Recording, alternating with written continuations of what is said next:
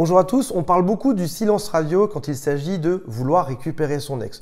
Vous en parlez peut-être avec vos amis, j'en parle sur quasiment chacune de mes vidéos sur cette chaîne YouTube. C'est en effet la méthode la plus efficace, celle qui donne le plus de résultats quand il s'agit de se remettre avec la personne qu'on aime.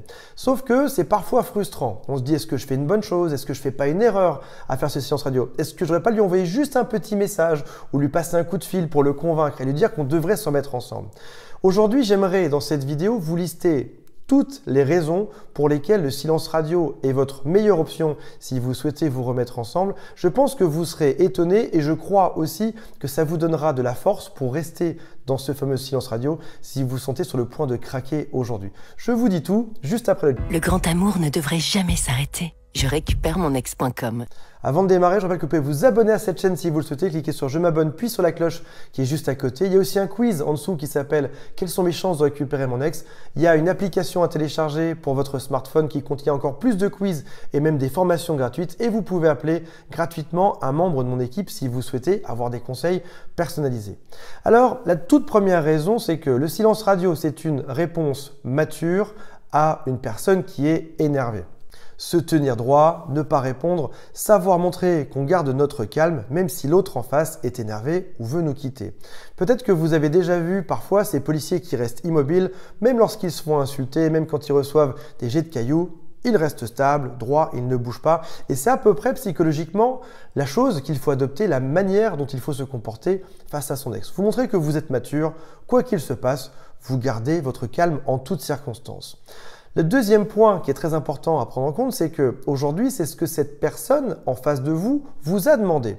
Si jamais vous n'acceptez pas ça, ça veut dire que vous êtes dans le déni. Ça veut dire que vous n'acceptez pas cette rupture amoureuse, ou en tout cas que vous n'entendez pas ses besoins. Le deuxième point très important, c'est que votre ex vous a demandé du silence radio. Il vous a demandé de l'espace, de le laisser tranquille. Donc aujourd'hui, si on entend bien sa demande, ses envies, il ne faut pas agir dans le déni en essayant de le forcer, en lui disant je veux revenir dans ta vie. Non, ce serait plutôt à votre ex de vous proposer ça, de revenir dans sa vie. Mais aujourd'hui, votre ex vous a dit non, moi ce que je veux c'est de l'espace, c'est du temps, c'est qu'on ne soit plus ensemble. Et rien que pour ça, il faut accepter.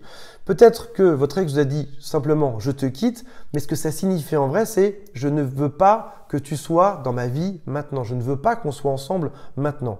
Donc si jamais on n'entend pas son besoin, ça veut dire que quelque part, on se ridiculise et on diminue nos chances de se remettre ensemble. J'ai vu souvent des couples qui se séparent parce que l'un des deux n'écoute pas l'autre. Et en l'occurrence, quand quelqu'un te dit je te quitte, je ne veux plus qu'on soit ensemble, même si c'est temporaire, il faut l'accepter, il faut l'entendre, juste pour montrer qu'on est capable d'entendre les demandes de l'autre.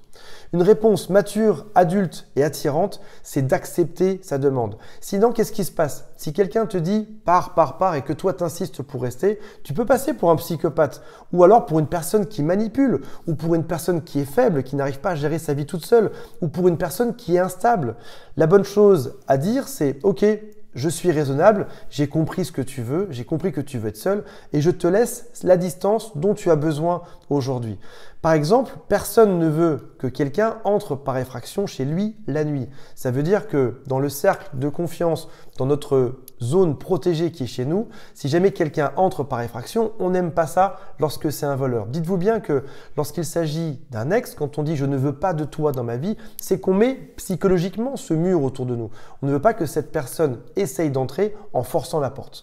Troisième point que vous ne voulez surtout pas, c'est devenir une histoire drôle.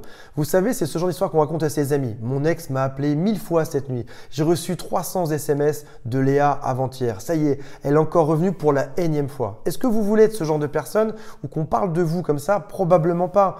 Et vous voulez surtout pas qu'en soirée, on raconte tout ce que vous avez fait, tout ce que vous avez incité. Non, parce que vous avez de la dignité, vous êtes une personne qui est saine, qui est honnête et qui est stable aujourd'hui. Donc, vous ne voulez pas que les gens rigolent de vous ne voulez pas passer pour un fou, vous voulez faire un silence radio parce que c'est une chose qui est très saine à faire. Rappelez-vous aussi que lorsque les gens racontent ce genre d'histoire sur vous, c'est encore une fois pour se mettre en valeur par rapport à vous. Non seulement ils ont la fierté de vous avoir quitté, et après ça, ils ont la fierté de vous voir revenir en envoyant des tonnes d'SMS. Quatrième point, c'est que ça leur laisse du temps pour réfléchir. Vous savez, Là, il y a une chose que vous avez peut-être déjà vue, c'est que c'est lorsqu'on part en vacances qu'on a les meilleures idées en général sur notre propre vie, sur notre travail, sur nos amis. C'est là qu'on trouve tout, c'est en prenant de la distance, en s'extirpant du lieu de vie qu'on a habituellement, c'est là qu'on trouve les meilleures idées, les meilleures choses à faire. Donc aujourd'hui, votre ex a besoin de sortir de cette situation, de faire sa vie, de réfléchir à tout ça sans aucune présence qui va le manipuler ou qui va le forcer autour de lui. Il a besoin de temps pour savoir où il en est, pour faire le point. Chez certains, ça va prendre quelques heures, chez d'autres, ça peut prendre jusqu'à quelques mois. Lorsqu'on a le nez dedans, bien évidemment, on n'arrive pas à analyser ce qui se passe. On a besoin de faire quelques pas en arrière, de faire quelques semaines tout seul, de réfléchir à tout ça et de faire le point sur ce qu'on a vécu, sur ce qu'on veut et sur ce qu'on ne veut surtout plus. Votre ex doit faire l'expérience de la vie sans vous. Il doit découvrir ce que ça fait que de ne plus vous avoir au quotidien. Et pour ceci, il faut lui laisser de l'espace. Et le silence radio est parfait pour ça. Le cinquième point, c'est que le silence radio envoie un signal fort à votre ex. Vous êtes une personne qui est stable, une personne qui est saine, une personne qui respecte leurs besoins. Ça, c'est extrêmement important. On a vu aussi que votre ex allait découvrir la vie sans vous. Parce que si jamais vous êtes tout le temps là, si jamais vous toquez à leur porte ou que vous envoyez des SMS, vous êtes finalement tout le temps là moralement, et donc du coup, ils ne savent pas ce que c'est que de vivre sans vous. Enfin, vous écoutez leurs désirs sans être la personne qui parle tout le temps. Est-ce que vous avez ce genre de copain ou de copine, lorsque vous êtes en soirée avec lui ou avec elle, il parle tout le temps, tout le temps, tout le temps, et quoi que vous disiez, il n'y a que lui qui rentre en compte. Vous n'arrivez pas à en placer une. Et vous ne voulez pas devenir ce copain perturbant, embêtant, qui parle que lui, qui parle tout le temps. Vous voulez d'une relation équilibrée. Si votre ex ne pas parler avec vous, vous respectez ça, vous équilibrez la relation et vous ne parlez pas non plus à votre ex. L'autre chose qui est importante, c'est qu'il est beaucoup plus pénible d'attaquer ou de bloquer des coups de quelqu'un que de laisser aller. C'est une technique de judo. En judo, on accompagne les coups. Quand quelqu'un veut nous mettre un coup de poing ou un coup de couteau, on prend le bras et on accompagne parce que c'est ce qui prend le moins d'énergie. Aujourd'hui, votre ex vous dit j'ai besoin de temps, on accepte, on prend cette énergie, on l'accompagne et on lui dit très bien, c'est exactement ce qu'il me faut aussi. Un autre point qui est très important, c'est que votre ex vous a peut-être souvent dit attention, je vais te quitter, ou alors peut-être même qu'il l'a déjà fait plusieurs fois. Et si à chaque fois que votre ex vous quitte, vous le rappelez, vous le suppliez et vous vous remettez ensemble, il va savoir qu'il peut vous dire ça à chaque fois dans le futur, vous reviendrez tout le temps. Montrez à votre ex que lorsqu'il vous dit je vous quitte, vous ne revenez pas. Ce sera une très bonne leçon par la suite et c'est ce qui fait que lorsque vous serez remis ensemble dans le futur, il hésitera à vous dire je te quitte parce qu'il saura que si jamais il le dit, vous prenez ces mots à la lettre et vous le faites vraiment et qu'il a dû galérer pour vous récupérer. Je vous promets que il y a beaucoup de gens qui se remettent ensemble trop rapidement et qui se reséparent trop rapidement. Si vous laissez passer un bon temps pour le silence radio, votre ex saura que la prochaine fois qu'il dit ça, ce sera une sentence qui sera compliquée, qui sera dure à gérer pour lui et que ce sera définitif. Donc il hésitera à le faire et il se battra pour vous récupérer. L'autre chose aussi qui est géniale avec le silence radio, c'est que votre ex va devenir curieux sur votre vie. Vous avez peut-être déjà avancé dans votre vie, peut-être que vous avez fait des choses, peut-être que vous avez bougé, des nouveaux amis, peut-être même que vous flirtez avec quelqu'un. Et aujourd'hui, si vous êtes tout le temps en communication avec votre ex, il va toujours savoir ce que vous faites dans votre vie. Alors que si jamais vous laissez ce silence radio durer et que vous ne donnez aucune nouvelle de vous, votre ex va s'inquiéter sur ce que vous êtes en train de devenir. Et plus les jours vont passer et plus votre ex voudra revenir dans votre vie. Ils seront même surpris que vous ne soyez pas en train de leur courir après, de leur envoyer 1000 SMS. Peut-être même qu'ils seront fâchés parce que leur ego en prendra un coup. Ils sont partis, au tout début vous avez supplié, et puis tout d'un coup, plus rien. Ils vont se dire mince, mais qu'est-ce que j'ai? Je suis moins attirant en ce moment, qu'est-ce qui se passe? Peut-être que mon ex a vraiment rencontré quelqu'un et que ça devient sérieux entre eux. Donc, le silence radio est une réponse qui est clairement attirante. Sixième et dernier point, c'est que ça va retourner la faute ou retourner la décision sur eux. C'est eux qui ont mis fin à la relation. C'est eux qui se retrouvent seuls finalement parce qu'aujourd'hui vous ne leur courez plus après. Et c'est eux qui ont le doute au final parce que c'est eux qui ont pris cette décision de vous quitter.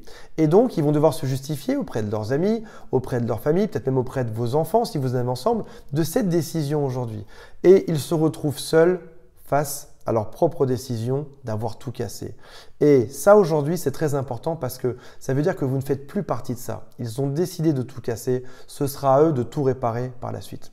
Alors ce sont pour toutes ces raisons que c'est si efficace aujourd'hui. Si jamais on pose la question de est-ce que ça marche à chaque fois, la réponse est non malheureusement. Personne ne pourrait vous garantir à 100% que le silence radio ce sera la méthode infaillible à 100% pour récupérer votre ex. Mais statistiquement c'est la solution qui donne le plus de résultats. C'est ce qui marche le mieux à chaque fois. Un être humain, c'est pas une équation, c'est pas une statistique, c'est pas un ordinateur. On ne peut pas prévoir ce qui va se passer. Ça reste une personne qui a des émotions, une pensée, qui a un environnement qui évolue librement. Donc parfois ça ne marche pas. Mais aujourd'hui, c'est la solution qui vous donne le plus de chances. Et c'est aussi la solution qui vous aide à devenir plus fort. Ça vous rend plus séduisant. Ça vous rend plus confiant dans vos propres choix et dans votre propre vie. Ça vous aide aussi à remonter votre estime de vous. Et c'est pour toutes ces raisons que le silence radio est la meilleure solution quand il s'agit de récupérer son ex. Voilà mes amis, mettez-moi un commentaire pour me dire ce que vous en avez pensé. Si vous êtes en silence radio, si c'est dur à respecter ou pas. Et on se retrouve dans une prochaine vidéo. Salut à tous, bye.